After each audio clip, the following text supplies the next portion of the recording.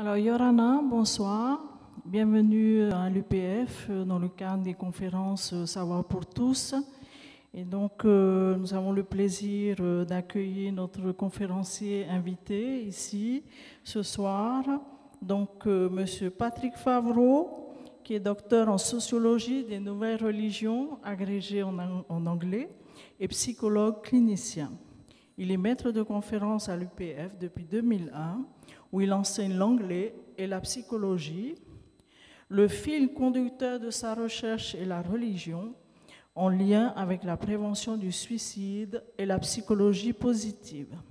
Il a rédigé un chapitre sur l'état de la psychologie en Polynésie en 2021, alors intitulé, donc en anglais, je vous traduis en français, donc l'âme polynésienne et le, euh, le monde moderne, euh, psychologie euh, aujourd'hui en Polynésie française. C'est sous presse, publié par Springer. Il a donné plusieurs conférences sur des thématiques telles que l'estime de soi, le bouddhisme et le bonheur. Donc nous avons comme titre de la conférence que vous pouvez voir ici, l'optimisme en temps de crise, nous en avons bien besoin. Et donc, euh, nous avons 45 minutes euh, d'intervention et puis euh, s'enchaîneront les questions pendant 15 minutes. Je voudrais aussi remercier par avance l'équipe de captation avec Ronan ici en haut et le pôle communication de l'UPF, Camille. Merci d'être là tous les soirs des conférences pour savoir pour tous. Maruru. Bah, je, vais, tester ce, micro, ouais, ça a l'air pas mal. Bonsoir à toutes et à tous, Yorana. Euh, alors c'est là qu'il faut être optimiste. Je m'attendais quand même à plus de, personnes présentes dans cette salle, mais bon, alors je vais, euh, montrer l'exemple de l'optimiste. Je me dis, bon, c'est pas la quantité, mais c'est la qualité qui est là. Et puis, euh, au lieu de compter les places vides, eh ben, je vais compter les places pleines. voilà. Euh, donc, euh, je suis très heureux de vous souhaiter la bienvenue pour cette conférence. Vous avez pris le temps de venir, hein, donc euh, je, vous remercie de votre présence. Je remercie aussi l'UPF de, me permettre de donner cette conférence. L'UPF qui est représentée par Mirose et par Camille de, de la communication. Alors, avant d'aborder le sujet, je vais vous présenter le diplôme d'université Initiation à la psychologie et aux psychothérapies. Alors, vous pouvez vous demander quel est le rapport? Entre la conférence et le, DU, c'est que euh, ce que je vais dire ce soir, c'est une sorte de synthèse euh, adaptée au sujet de la crise, euh, synthèse d'un cours sur l'optimisme que je fais ici, c'est un cours de deux heures. Et ce DU est une formation qui dure 120 heures. vous pouvez le voir ici, je ne sais pas, il faut, que vous ayez de bons yeux, encore de bons yeux. 120 euh, heures, il y a six modules de, 20 heures et ça permet d'avoir une vue d'ensemble de l'histoire de la psychologie, hein, des temps anciens jusqu'à l'époque moderne, hein, l'ère du verso. Et euh, une idée que je développe dans, cette histoire de la psychologie, c'est comment la psychologie est devenue matérialiste. Et ce DU donne aussi une très bonne idée des trois grands courants psychologiques que sont les thérapies cognitives comportementales. Alors c'est le behaviorisme, c'est Pavlov, c'est le conditionnement. Premier courant. Deuxième courant, c'est la psychanalyse avec Freud.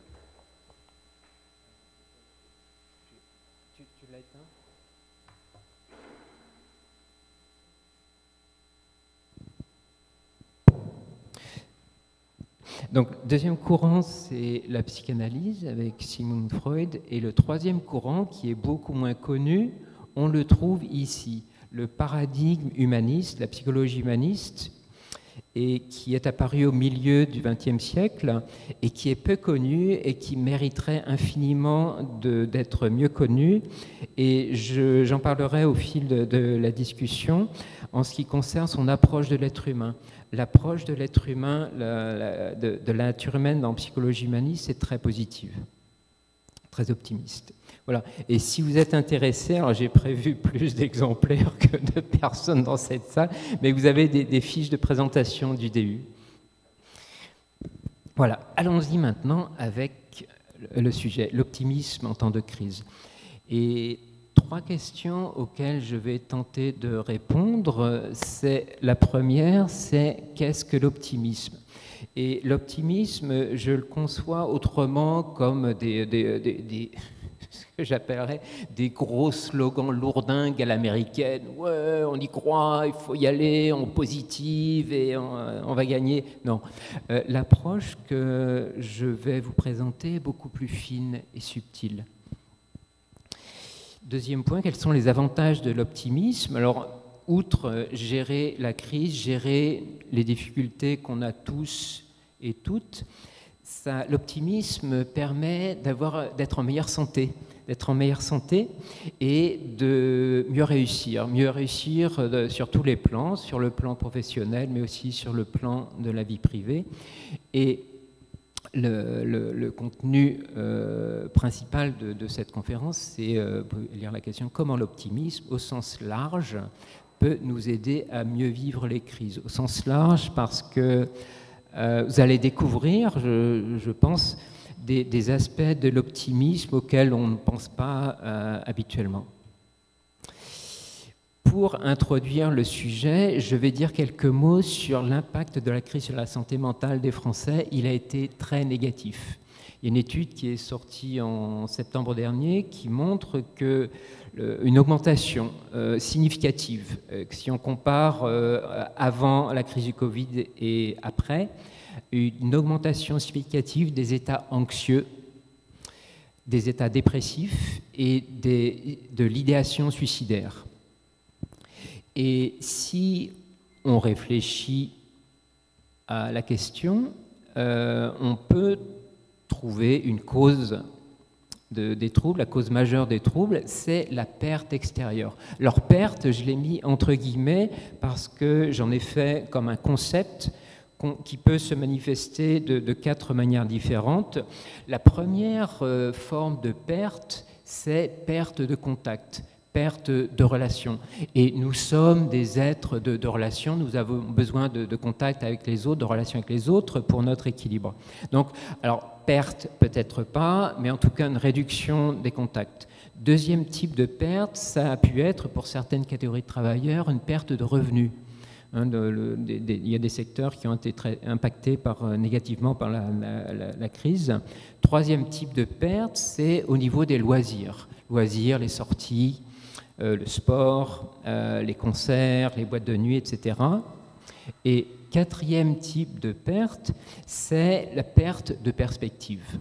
Perte de perspective, euh, ça veut dire qu'on ne sait pas où on va. Hein. il y a, euh, très, récemment, il y a un nouveau variant qui est apparu et Dieu sait s'il y, y, aura d'autres. Enfin bon, on ne sait pas où on veut, on est un peu dans le brouillard.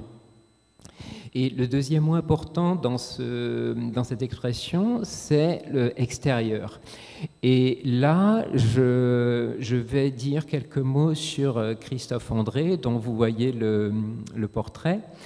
Et alors pourquoi je parle de, Christophe André? C'est parce qu'il est invité dans une émission le dimanche matin qui s'appelle Sagesse bouddhiste. Sagesse bouddhiste à 8h30 tous les dimanches matins. Et il était invité. Alors vous allez me dire, mais euh, bon, peut-être certains, certains d'entre vous qui connaissaient Christophe André, mais il n'est pas bouddhiste. Euh, en tout cas, il a presque le look. Il est bien dégarni, là. Il a peut-être été moine dans une vie antérieure, enfin bon, peu importe. Mais en tout cas, il est invité. Euh, on peut revoir les émissions sur, en replay est invité en avril 2021 et on lui a posé des questions sur l'impact de la crise, etc. Et voilà deux solutions qu'il propose. La première, c'est développer sa vie intérieure. Et on peut contraster la perte extérieure et la vie intérieure. Et lui suggère d'accorder une place essayer de trouver un équilibre, euh, d'accorder une place à la vie intérieure et essayer de trouver un équilibre entre l'extérieur et l'intérieur. Parce qu'il euh, il parle aussi de l'externalisation des problèmes, c'est-à-dire que les problèmes viennent de l'extérieur. Et c'est pas faux, mais les, problèmes, on ne peut pas tellement avoir d'emprise sur eux, mais par contre, on peut avoir une emprise sur comment on vit les, problèmes extérieurs grâce à une vie intérieure. Euh, et la vie intérieure sous-entend, enfin, le, mentionner cette idée, ça sous-entend que à l'intérieur de nous, nous avons des richesses et des ressources. Et il suffit, alors c'est facile à dire, hein, il suffit d'y puiser, mais ça fait partie d'une premier, première idée de, comment gérer la crise. Euh, en développant sa vie intérieure, trouver un équilibre entre l'extérieur et l'intérieur. Et puis le deuxième point, positiver sur ce qu'on a, c'est assez évident hein, que c'est une approche optimiste. Deuxième partie de l'introduction, quelques mots sur le concept de crise. Alors crise, ça, vient du grec. Hein, le grec euh, passé en latin et puis en français. Et le sens euh, de départ du mot en grec, c'est l'idée de séparer, l'idée de trancher, l'idée de prendre une décision. Tandis qu'aujourd'hui, le concept de crise a pris euh, des, connotations très péjoratives, c'est-à-dire euh, négatives. crise, euh, conflit, souffrance, épreuve, dysfonctionnement, etc. etc., etc. Donc le, sens du mot crise, enfin les connotations du, du, mot crise ont changé entre au départ chez les Grecs anciens et maintenant. Et c'est une idée développée par Christophe André, mais pas, pas que lui. La crise peut être un révélateur potentiel. Et on peut résumer l'impact de la crise sur une personne, c'est le, point de vue euh, psychologique dont, je parlerai essentiellement, qu'une crise entraîne une souffrance, et la crise euh, peut être... Euh, euh, à tous les niveaux et au niveau euh, individuel des êtres humains, ça peut être une crise euh, somatique sous forme de maladie. Et ça peut être aussi une crise relationnelle, un conflit. Bon. Et toutes les crises entraînent une souffrance et, dans l'idéal, amènent une prise de conscience. Et prise de conscience, alors euh, c'est un, élément vraiment euh, essentiel. Et la prise de conscience de la souffrance et de la crise et des tenants et des aboutissants de, de la crise, plus elle est profonde, plus elle est claire, plus elle est objective, plus elle est éclairée, mieux on pourra gérer cette crise et mieux on pourra s'adapter. Hein. C'est le, dernier thème que, vous avez ici. Et quelle est la place de l'optimisme dans tout ça? Eh bien, de croire qu'il existe des solutions et que nous avons des ressources en nous. Alors, le plan global, trois parties. La première partie, c'est euh, l'histoire du mot le, du mot optimiste. C'est un mot qui est apparu en 1737 par des Français, des jésuites. C'était la, polémique avec Leibniz. Et trois sens du mot. Alors euh, là, on commence à, explorer des dimensions un peu plus fines du mot optimisme. Et euh, les deux autres parties sont consacrées, l'une est consacrée à ce que j'appelle l'optimisme état, c'est-à-dire l'optimisme euh, au moment présent. C'est-à-dire, euh, à l'instant T, est-ce que je vois davantage le positif, ou je regarde le nombre de personnes qui est là, ou je regarde toutes les places vides hein, C'est un peu ça l'idée. C'est l'histoire de, la, bouteille à moitié vide ou à moitié pleine. Donc, L'optimisme état, c'est au moment présent, tandis que l'optimisme que j'appelle action est tourné vers l'avenir vers les projets qu'on peut avoir, vers les objectifs qu'on peut avoir. Et deux formes d'avenir, avenir à court terme, moyen terme et long terme.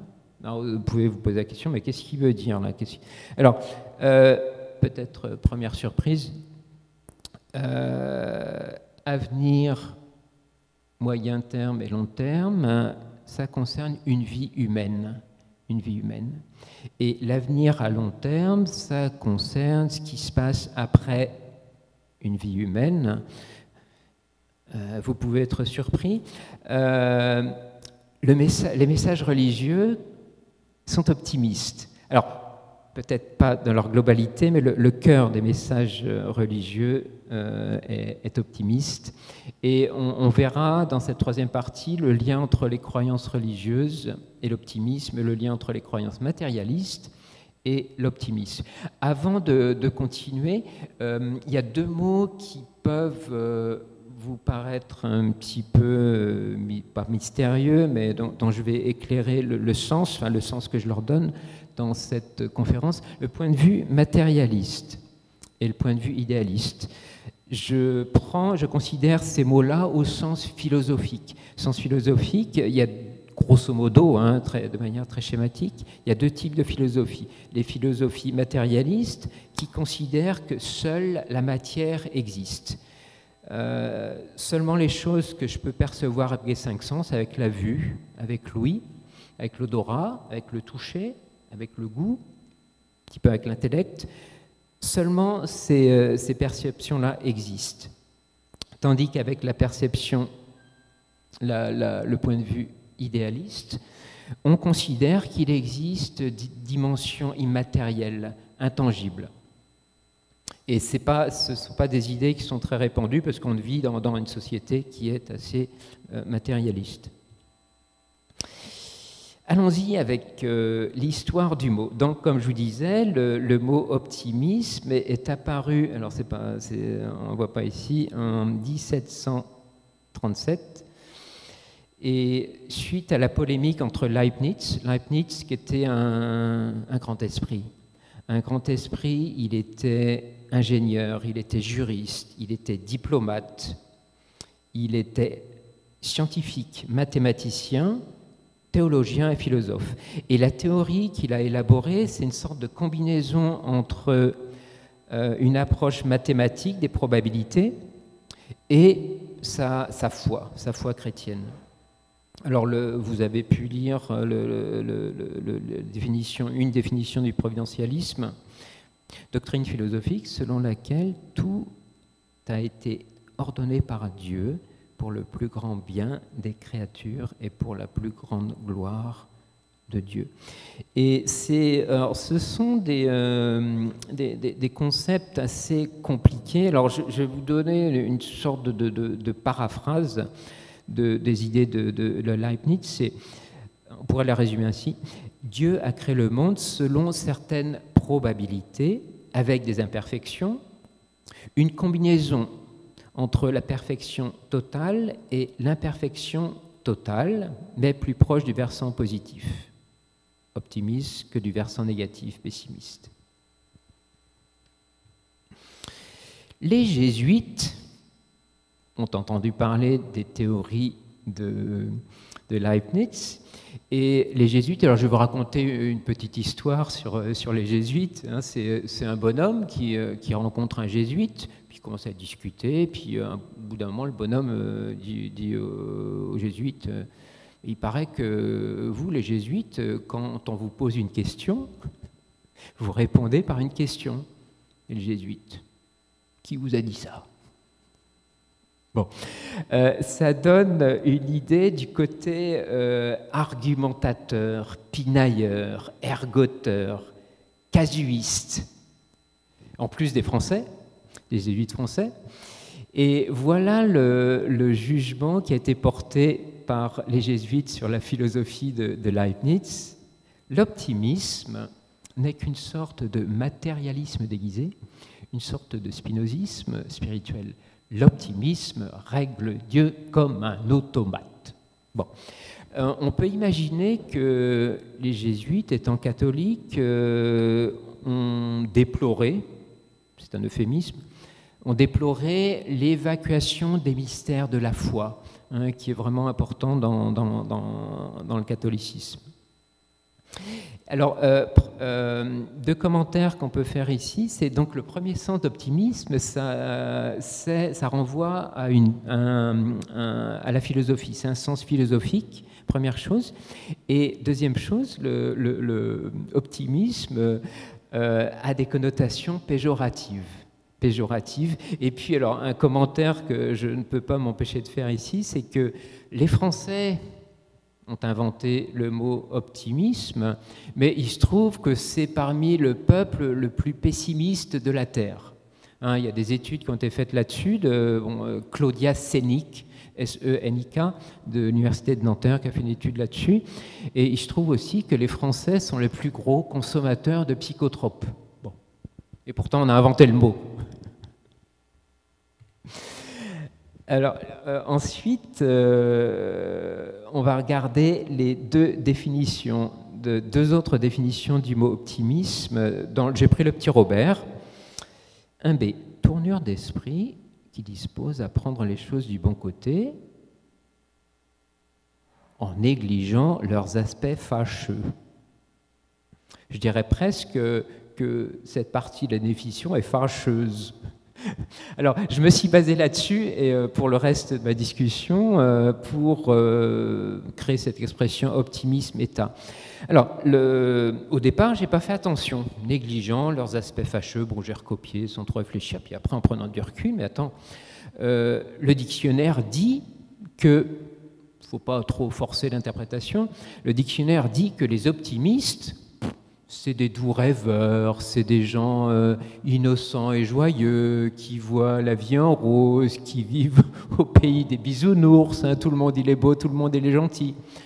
Euh, les optimistes, ils sont pas sérieux. Ils sont pas sérieux. Pour être sérieux, il faut être pessimiste. Bon, j'exagère un peu.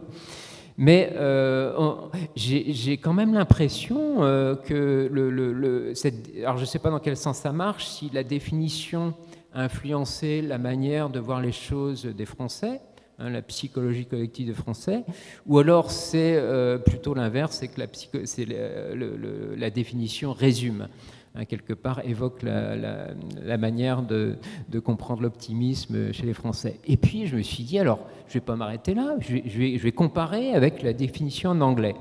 Et j'ai pris le Langman, et je vais vous donner la traduction, bon, c'est relativement facile à comprendre, c'est une inclination à insister sur les aspects favorables des situations, des actions et des événements ou s'attendre au résultat, outcome c'est le résultat, ou s'attendre euh, au résultat le meilleur possible. Et si on compare les deux définitions, la définition en anglais est neutre. Hein, il n'y a pas de jugement euh, négatif, tandis qu'en français, oula, euh, il est optimiste, c'est suspect, c'est suspect. Euh, et troisième sens du, mot optimisme, c'est qui est apparu fin 19e siècle, impression, sentiment de confiance heureuse dans l'issue, le dénouement favorable d'une situation particulière, et ce que j'ai appelé optimisme action. Allons-y maintenant avec l'optimisme état. Et euh, une définition de, l'optimisme euh, qui va quelque part servir de, fil conducteur à ma discussion, c'est l'optimisme, ça consiste à porter un regard positif sur. Porter un regard positif sur deux objets au sens abstrait, euh, trois, bon, on peut les réduire à deux, euh, porter un regard positif sur soi-même, sur l'être humain que nous sommes tous et toutes, et la manière dont on regarde les autres influence la manière, euh, enfin, la manière dont on se regarde soi influence la manière dont on regarde les autres. Et euh, c'est pour ça que j'ai écrit le, mot projection. Bon, euh, expliquer très simplement ce, mot, la projection, ça consiste à voir chez les autres ce qu'on a en soi. Hein, c'est comme si, alors j'enlève le comme si, nous avons tous des filtres déformants et nous percevons les autres suivant ce que nous sommes. Et d'ailleurs, quand, on dit quelque chose, ça en dit plus sur nous-mêmes que sur la personne de qui on parle. Donc, on peut réduire euh, l'optimisme, la perception positive de soi-même, des êtres humains, et perception positive, porter un regard positif sur le monde. Et on, associé à ça, on trouve la problématique de l'identité et l'identification. Ça consiste à se poser, alors c'est rare qu'on se pose la question euh, consciemment, mais on se la pose inconsciemment, et euh, ça a aussi des conséquences. Qui suis-je? Est-ce que je suis un assemblage d'organes, de, d'eau, de, chair? Bon. Euh, et d'ailleurs, je parlais du behaviorisme tout à l'heure. Un certain ultra du behaviorisme, les comportementalistes, alors c'est une espèce en voie de disparition, mais considèrent que l'être humain n'a pas d'émotion. L'être humain, c'est un organisme qui réagit à des stimuli. Bon. Euh, donc, y y a, euh, et là, on peut avoir les deux points de vue, le point de vue matérialiste euh, de, des êtres humains ou alors un point de vue idéaliste. Et la conséquence de ça, c'est que ce soit conscient ou inconscient, les réponses qu'on donne ou qu'on donnerait si on nous posait la question sur qu'est-ce qu'un être humain, eh bien, inconsciemment, on s'identifie à ce qu'on pense euh, ce que c'est un être humain. Et au final, euh, c'est une manière de reformuler la, même, la même idée, c'est quel regard je vais porter sur moi-même et mes semblables. Et alors vous êtes peu nombreux, et puis allez, je vais, être optimiste quant à votre perception de la nature humaine. Bon, euh, mais s'il y avait un échantillon plus grand, euh, si on faisait un petit sondage, euh, si je posais la question, mais alors, est-ce que vous pensez que l'être humain est plutôt bon ou plutôt mauvais? Est-ce que l'être humain, il est plutôt malhonnête, il est plutôt agressif, il est plutôt menteur, il est plutôt hypocrite, il est plutôt... Vous pouvez allonger la liste euh, à votre guise. Donc, est-ce que l'être humain a plutôt des défauts ou est-ce que l'être humain a plutôt des qualités? Est-ce qu'il y a la bonté? Est-ce qu'il y a un équilibre? Est-ce qu'il y a une intelligence émotionnelle? Est-ce qu'il y a une bienveillance? Bon. Euh, faudrait faire un sondage sur la question, mais la, majorité des gens, euh, j'imagine, pensent que l'être humain est plutôt euh, mauvais. Alors, point de vue euh, matérialiste, alors quelques approches, j'ai déjà commencé à dire quelques mots sur l'approche biologique. Aristote, qu'est-ce qu'il disait sur l'être humain? Il avait une, conception matérialiste, une philosophie matérialiste, contrairement à Platon. Aristote définissait l'homme comme un animal social. Et puis encore pire, si je puis dire, c'est euh, l'approche consumériste. Un être humain, c'est une machine à consommer. Puis on va essayer de le faire consommer au maximum. Conception freudienne. La conception freudienne est réductionniste. Réductionniste en ce sens qu'elle évacue les dimensions subtiles de l'être humain pour Freud, la religion est une névrose. Et donc, il ne se passe rien après la mort, et l'être humain, c'est une sorte d'organisme doué de raison qui essaye de canaliser les pulsions du ça, et puis de, gérer aussi les injonctions du surmoi. Et puis encore pire, comme euh, conception de, l'être humain, c'est la conception euh, très négative, l'homme est un loup pour l'homme. Et euh, il, m'est venu l'idée de modifier légèrement cette, euh, cette expression et de manière suivante, l'homme est un loup pour la planète. Et je vais dire quelques mots sur euh, une manière de considérer l'être humain. C'est un point de vue écologique misanthrope qui considère que l'être humain est un prédateur destructeur, qui est en train de scier, et c'est une réalité, euh, en train de scier la branche sur laquelle il est assis. Bon. Et alors, euh, continuer encore avec un peu d'humour sur l'homme est un loup pour l'homme, et puis le, le commentaire facétieux d'un certain Bouchard, l'homme est un loup pour l'homme, ce qui, vous en conviendrez, n'est pas très gentil pour le loup. Ça veut dire que l'homme est encore plus méchant que le loup. Donc, quelques conceptions matérialistes de l'être humain.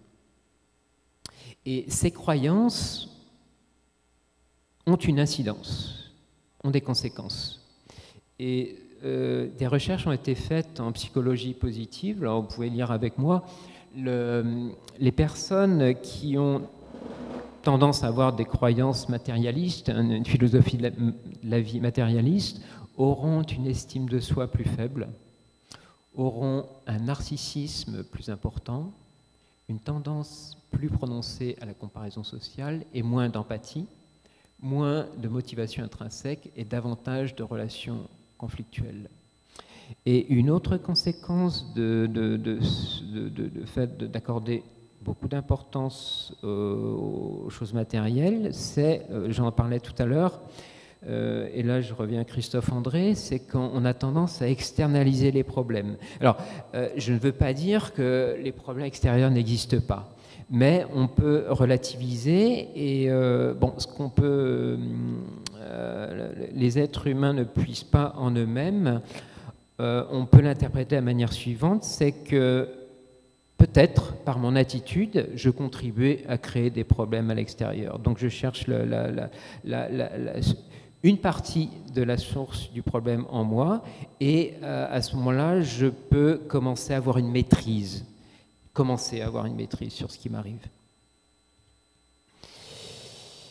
Maintenant, le point de vue idéaliste, alors qu'on retrouve hein, le, point de vue idéaliste, comme, je disais, ça, consiste à considérer qu'il existe d'autres dimensions que les dimensions euh, purement, uniquement matérielles. On trouve ça chez certains philosophes, mais on n'a pas le temps de développer. On trouve ça dans les religions. Alors, euh, moksha, moksha, sauf si vous intéressez la question, ça veut dire libération.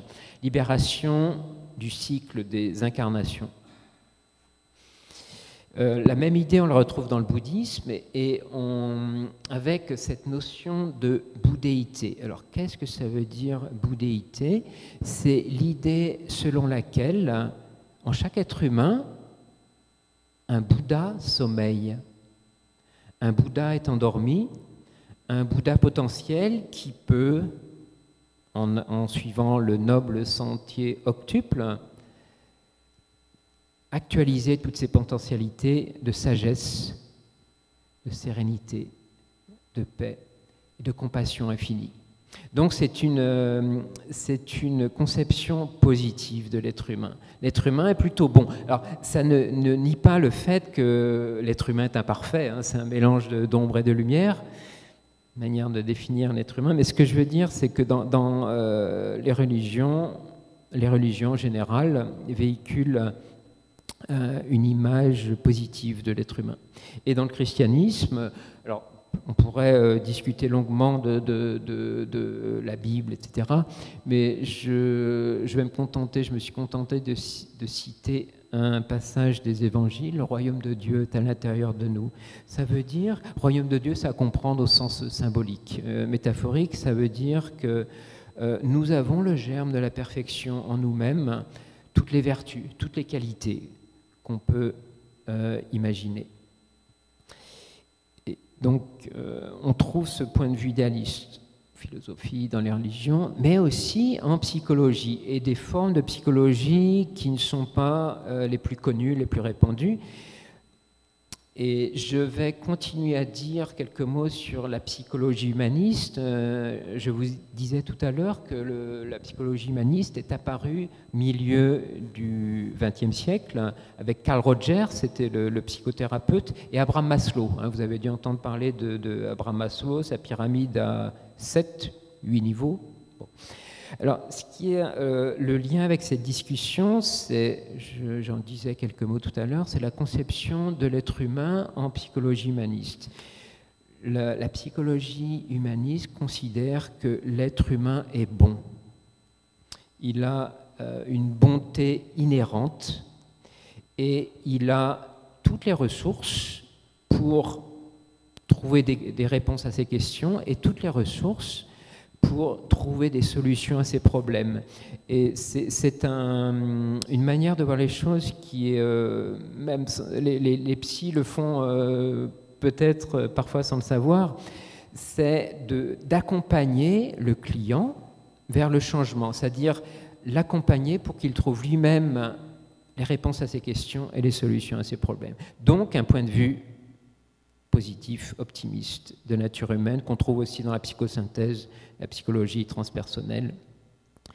Et euh, quand Christophe André parlait de développer sa vie intérieure, il avait en tête la pleine conscience. Oui, je ne vous ai pas dit tout à l'heure pourquoi Christophe André, qui n'est pas moine bouddhiste, qui aurait pu l'être, euh, pourquoi il était invité à Sagesse bouddhiste C'est parce qu'il pratique la méditation de pleine conscience. Et la méditation de pleine conscience est une technique d'origine bouddhiste qui a été euh, vulgarisée par un, Américain qui s'appelle John Kabat-Zinn. Et euh, c'est presque la mission de vie, le dharma de Christophe André, de vulgariser, de diffuser, d'enseigner euh, et de pratiquer aussi la pleine conscience. Et la pleine conscience, alors il dit dans son interview que c'est pas évident de regarder à l'intérieur de soi. Parce que si on se pose, on ferme les yeux et puis on essaye d'observer sa respiration, prendre un body scan, prendre conscience du corps, on s'aperçoit qu'on est harcelé, on est euh, perturbé, on est attaqué, assailli par toutes sortes de, pensées qui nous empêchent euh, de, de, ressentir la paix intérieure, euh, la paix et la joie intérieure, une sorte de sérénité. Et donc, développer sa vie intérieure, ça sous-entend qu'à l'intérieur de soi, on va trouver des richesses, on va trouver des ressources. Euh, alors, j'ai parlé jusqu'à présent de la manière positive de considérer l'être humain et maintenant euh, quelques commentaires sur la manière positive de considérer euh, l'extérieur, voir le positif dans, les situations. Alors il y a un, orthoptiste dans la salle, peut-être ça va lui parler, là, il pourrait faire la vente de lunettes roses. Alors, que dit Christophe André euh, Tirer du positif des contraintes, positiver sur ce qu'on a et voir aussi le négatif. Alors, souvenez-vous tout à l'heure la, définition de, optimisme en français. On, laisse de côté, on néglige les, aspects fâcheux des choses. Et euh, Christophe André insiste bien sur le fait qu'on voit aussi le négatif.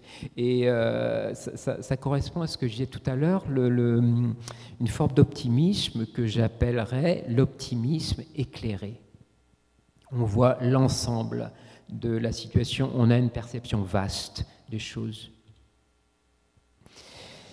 Et pour finir, deux illustrations de la perception de soi-même et de l'extérieur positive, optimiste. C'est deux, illustrations. La première, c'est une fable zen. Fable zen, alors je vais retrouver, voilà. Euh, les deux souris et le pot de lait. Deux petites souris tombèrent dans un pot de lait le bord du pot était beaucoup trop haut. Elles se retrouvèrent prisonnières du récipient et se mirent à nager frénétiquement, sous peine de couler. Elles se démenaient ainsi depuis un certain temps quand l'une des deux perdit espoir et abandonna la lutte. Elle cessa de nager et se noya. L'autre, exténuée, décida malgré tout de continuer à lutter jusqu'à la limite extrême de ses forces. Elle nagea, elle nagea sans relâche. Tout à coup, le lait tourna en beurre. Et prenant appui sur cette nouvelle matière solide, la petite souris sauta par-dessus bord et s'échappa. Et la deuxième illustration, c'est Victor Frankl. Là, c'est euh, du vécu, je dirais même du survécu. Du survécu. Alors, il a une histoire euh, vraiment exceptionnelle. C'était un psychiatre viennois, né en 1905, qui était juif. Il faisait pas bon être juif à cette époque, dans les années 30, 30-40 en Europe. Et il a été déporté dans les camps de concentration, il y a passé trois ans, il a survécu. Et il raconte cette histoire dans ce petit livre. Hein. c'est vraiment euh, un, petit bouquin qui fait une centaine de pages, mais c'est euh, un vraiment très très bon livre. Il raconte euh, comment se, passe la vie dans les camps de concentration. Et il raconte aussi comment il a élaboré la logothérapie. Logothérapie, c'est la thérapie par le sens. Ça part du principe que bon, il peut exister une névrose qu'on appelle névrose existentielle. Et névrose existentielle, c'est quand euh, un être humain perd le sens euh, de sa vie, n'arrive pas à donner un sens à sa vie. Et en psychologie existentielle, on, amène les gens à retrouver un sens à leur vie. Alors, euh, je, vais, je, vais, je, vais, faire le lien avec l'optimisme. C'est un mot qui apparaît plusieurs fois dans, dans l'ouvrage de, de, Victor Frankl l'optimisme l'a aidé à survivre. Alors l'optimisme, l'espoir, hein, ce sont deux concepts euh, qui sont proches, même si l'espoir, ça reste juste au niveau des cognitions. Mais euh, l'espoir de, s'en sortir et aussi trouver un sens à, son enfermement, à son confinement dans les camps de concentration. Et le sens qu'il a donné à sa vie, c'est il euh, espérait retrouver sa famille, sa femme et ses parents, et aussi survivre pour écrire un livre, pour écrire ce livre sur la logothérapie. Donc euh, l'optimisme lui a permis de survivre. Alors un petit, petit peu d'humour. Euh, c'est en anglais. Doug, c'est le personnage, c'est un naufragé. On peut imaginer qu'il euh, il essaie de survivre sur la mer depuis un certain nombre de jours. Euh, il a tiré la conclusion que les choses pouvaient empirer, pouvaient devenir pires, mais à quel point elles pouvaient devenir pires, il n'était pas sûr. Elle est poursuivi par les requins, bon, bref. Mais il garde espoir, comme les petites souris, dans la petite souris dans le pot de lait. Troisième partie, l'optimisme action. Et je vous disais tout à l'heure qu'on peut concevoir ce, concept-là de deux manières différentes, soit à long, court, moyen ou long terme. Et euh, la psychologie positive, euh, enfin en psychologie positive, l'optimisme est un, est un pilier. Et je dirais même que Seligman, alors c'est le, nom ici, Seligman, Martin Seligman, c'est le père fondateur de la psychologie positive. Alors 2000, c'est une date prétexte, hein, c'est pas apparu comme ça, comme une révélation. Euh, bon. Euh, c'était un congrès, bon. Et euh, Seligman, le lien avec l'optimisme, il a construit sa carrière sur l'optimisme. Alors au départ, c'était le pessimisme, mais il s'est aperçu que bon, l'optimisme est un peu plus positif, donc voilà.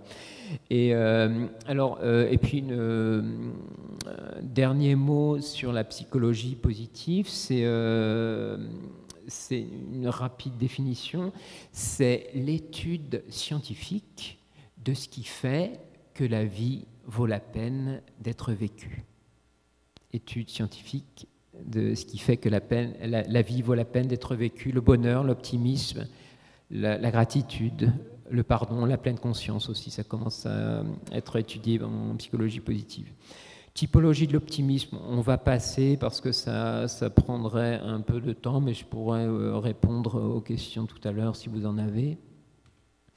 Et l'optimisme irréaliste, c'est ne pas avoir conscience des réalités. Alors pour le coup, là, le, petit bonhomme en rouge, là, il néglige les aspects fâcheux de la situation. Il ne se rend pas compte.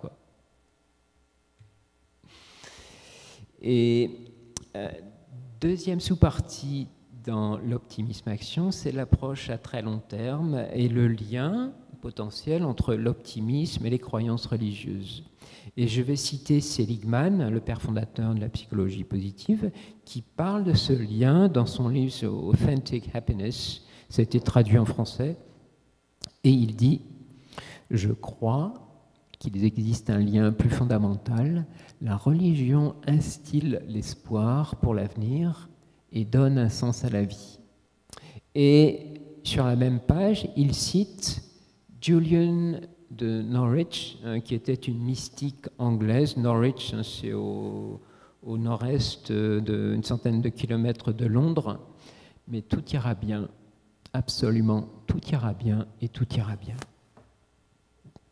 Et on peut avoir une, idée euh, du, contexte plus large dans lequel euh, elle a dit ça. Alors c'est la, en anglais, sin c'est le péché, sin is behovely.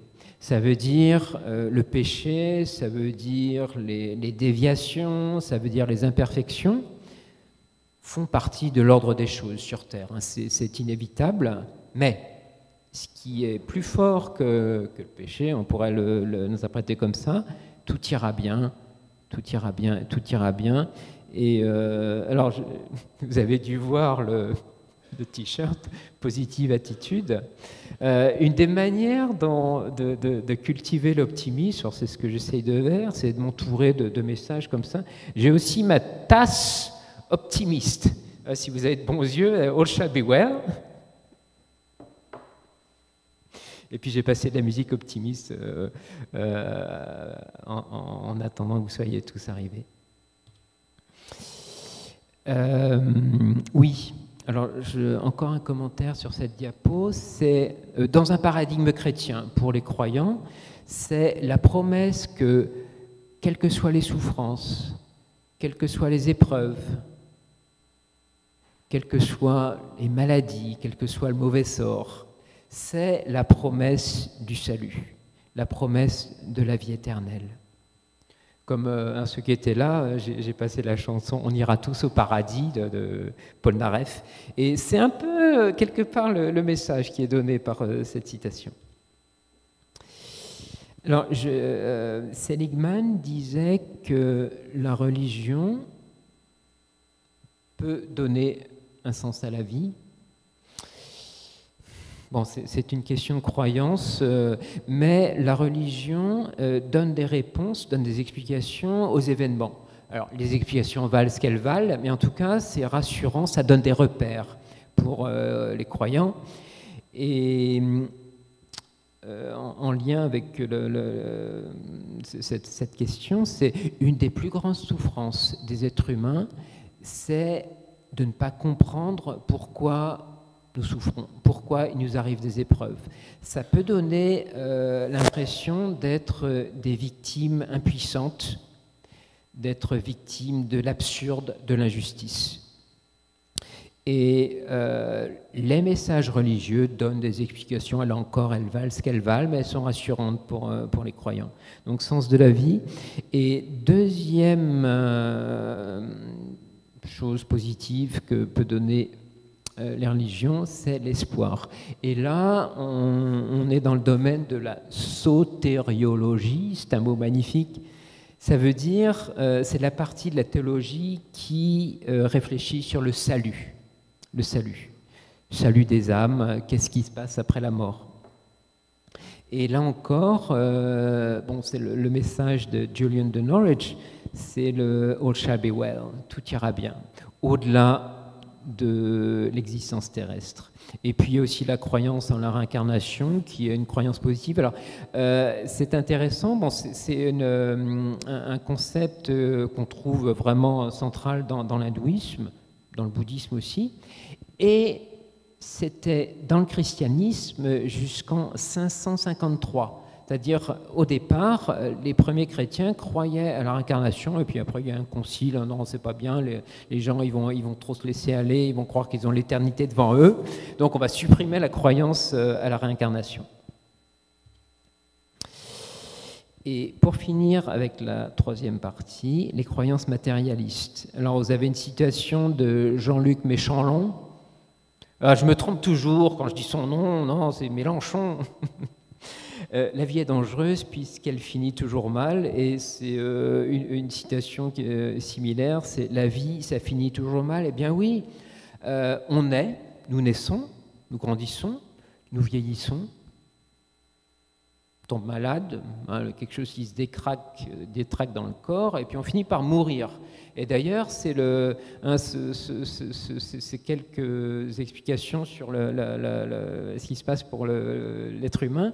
Bon, c'est central dans le bouddhisme. Hein, il y a les trois sorties du Bouddha. Bon, donc euh, les croyances matérialistes, d'un certain point de vue, ne sont pas euh, optimistes parce que ça finit mal. Et on arrive à la conclusion de cette discussion sur l'optimisme en temps de crise. Et la première partie de la conclusion, alors, euh, la triade optimiste. La triade optimiste, j'ai inventé ça à partir de la triade cognitive négative de Beck. Euh, quelques mots sur Beck.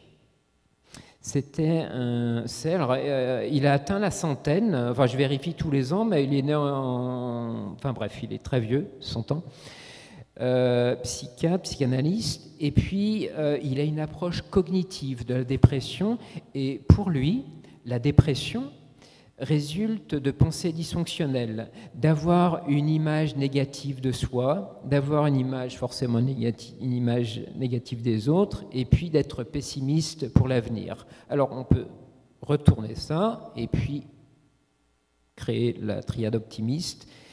L'optimisme éclairé serait basé sur la confiance, sur la foi en soi et ses capacités, toutes les ressources, hein, pensez à la bouddhéité, pensez euh, à la, citation de la Bible, et ce qu'on a en soi, comme on est tous euh, plus ou moins pareils fondamentalement, hein, euh, ce qu'on a en soi, ben, on le trouve aussi chez les autres, et puis l'avenir propose des, donne de l'espoir. Première sorte de conclusion. Et puis, la deuxième, euh, deuxième partie de la conclusion, alors, ce tableau résume quelque part euh, ce dont j'ai parlé. Alors, il y a deux parties dans, euh, dans ce tableau. La partie qui correspond au temps, le présent, l'avenir proche, l'avenir lointain, et puis les objets, c'est-à-dire ce, ce, sur quoi on peut porter un regard positif, c'est-à-dire soi, le monde. Alors, au présent, si on porte un regard positif sur soi-même, on peut. Alors, tout est une question de croyance aussi. Hein. Euh, les croyances, on adhère, on n'adhère pas. Hein, ça, c'est le, libre choix de chacun. Mais, euh, bon, j'aurais tendance à dire que les croyances positives euh, bon, ont des résultats positifs dans, dans notre vie. Donc, perception positive de nos ressources intérieures, de nos richesses et puis dans le monde, voir davantage le positif que le négatif. L'avenir proche, c'est-à-dire dans, dans, une vie humaine, dans la perception matérialiste des êtres humains, confiance en ses projets, et euh, les, gens avec qui ont une, conception matérialiste de la vie peuvent être parfaitement très optimistes. D'ailleurs, ça me fait penser, je suis en train de faire une recherche là-dessus. J'ai passé le questionnaire, et puis la, problématique, c'est est-ce que, alors études statistiques et tout avec des tests, bon, euh, est-ce que les croyants pratiquants sont plus optimistes que les, euh, athées, en fait? Et puis, dernière partie du tableau, l'avenir lointain, c'est-à-dire au-delà de l'existence terrestre. Et euh, dans un paradigme spirituel, on considère que la vie continue après la mort du, corps physique. Donc il y a une continuation de la vie et avec la confiance en son salut, le paradis, moksha, nirvana, etc dans une perception idéaliste des, êtres humains. Et puis en faisant ces, euh, des, recherches sur ce, sujet, je me suis aperçu qu'il existait une Ligue des optimistes de France. Voilà. Merci de votre attention.